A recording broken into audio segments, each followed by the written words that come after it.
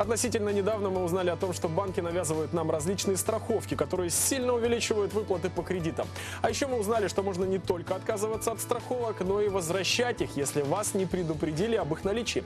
О том, как этому сопротивляются банки и как относятся, как отстоять свои права, узнаем у Елены Донских, юриста Ассоциации по защите прав заемщиков. Доброе утро, Елена. Доброе утро, Кирилл.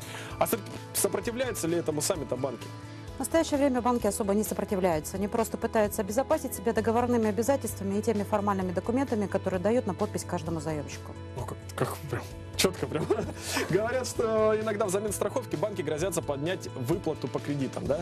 Сумму Банки вправе это Есть делать. такое? Да, есть такое, банки вправе это делать, потому как банки страховками обеспечивают свою безопасность по возврату выданных кредитов, чтобы эти кредиты были возвращены любым заемщикам вовремя, в полном объеме и в те сроки, которые были предусмотрены. А как эту договором. ситуацию разрешить? Вот, что- вот что делать? Если э, банк настаивает, э, что в рамках конкретного кредитного продукта заемщик обязан подписать договор страхования, заемщик может подписать.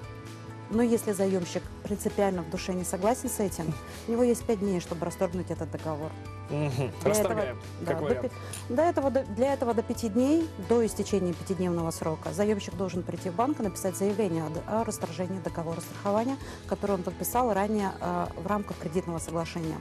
Но вот многие до поры до времени не слышали, что такое страховка, собственно говоря. А сейчас все поголовно об этом твердят, да?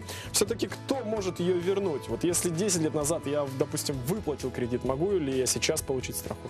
Как такой Таких, вот, вот да, вариант? таких спорных вопросов очень много, таких обращений очень много, в том числе в нашу ассоциацию. Некоторые а, такие вопросы мы берем для рассмотрения вплоть до судебных разбирательств, но для того, чтобы вы поняли а, и а, обратили внимание, насколько будет выигрышно ваше дело, насколько возможно будет а, забрать страховку обратно, которую вы выплатили, необходимо посмотреть в первую очередь на те документы, которые вы подписали.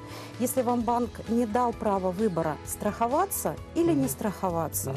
Таким образом, идет э, прямое следствие того, что банк вам навязал страховку. И тогда у нас есть основания для того, чтобы оспорить действия банка. Если же банк вам предоставил документы, в которых он предложил вам, вы страхуетесь, и мы кредитуем вам, или вы не страхуетесь, но мы кредитуем вас по немножко высшему проценту, Мгм. нежели мы могли бы вам предложить процентную ставку тогда, когда вы застраховали. Вот тогда спорный вопрос. То есть вы поставили галочку, вы согласились с условием продукта кредитования э, в рамках страхования, который будет увеличивать, э, возможно, ваши расходы по кредитной нагрузке. Но, э, как правило, здесь вы своими подписями и своими галочками о том, что вы согласны и ознакомлены, вы проявили свое волеизъявление, поэтому оспорить здесь будет уже сложно. А что делать, если в, данном, в данный момент я плачу кредит? Платите кредит, Да. И то же, сам, то же самое получается? то же самое. Все То те есть же этапы. необходимо посмотреть ваш договор страхования, были ли вы уведомлены, дал ли вам банк выбор, страховаться или не страховаться. Так, ну-ка быстро подписывай, да, там быстро подписывай. Да, так, все, да. все, все. А, мгм. А потом начи- внимательно. начина- О, а тут-то, оказывается, сожалению, да. кабала. Практика Так, а Верховного, да, практика Верховного суда 10 лет. говорит, подпись есть, значит вы согласны. Вы практически знание закона. Вы узнали свой закон, закон того, как вы будете кредитоваться. Обычно же зачастую не читаем, Это быстрее, печально, быстрее, быстрее, да. быстрее торопимся. Как возвращается-то, собственно говоря, страховка? Страховка возвращается тремя путями. Первый путь путем досудебной претензии в добровольном порядке. Банк говорит, ага, я согласен, Пять дней, да, возвращаю. совершенно верно. Второе. Второе. Если банк не согласен, ему предоставляется досудебная претензия и дается разумный срок. Либо вы соглашаетесь, либо мы идем в суд. Юристу-то при этом надо обращаться? К помощи? Если непосредственно заемщик а, знает свои права и а, имеет навыки договорных работ, то, в принципе, он может делать это самостоятельно. Желательно, конечно, если это, эту процедуру будет сопровождать юрист. Третий случай, когда просто все идут в суд.